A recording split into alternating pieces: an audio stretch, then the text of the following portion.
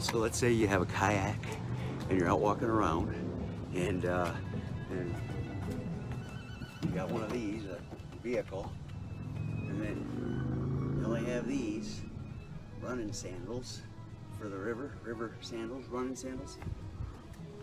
So you got a truck or a car, however you got, and then you got a kayak, but then after that you don't have a other way to put a vehicle upstream or downstream or even a bicycle or nothing.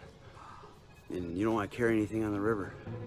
So here are three rivers where all you need is your, obviously your kayak and paddle, and then uh, you can run from the place that you get out of the river back up to the place where you put in the river.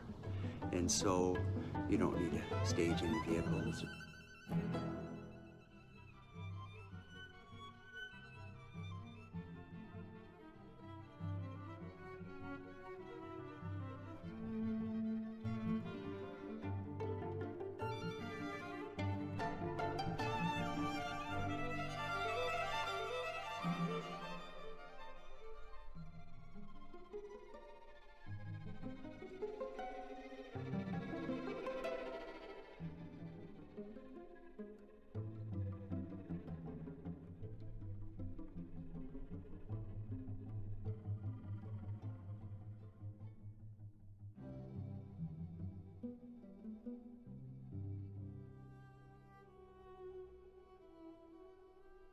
At the Crystal River, any one of these portages that come across the road, you can get out and hike back to your beginning and get your truck and start over again.